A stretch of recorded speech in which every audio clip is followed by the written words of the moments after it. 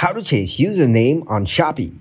Hello everyone. In this video, I will show you how to change username on Shopee. First of all, open up the web browser. Here search shopee.com.my slash me. Then log in to your Shopee account and log in with Google. Now choose an account to continue in the Shopee account. Then tap on three dots from the top right corner and go to desktop site. Once you're in the Shopee desktop, click on my profile from my accounts.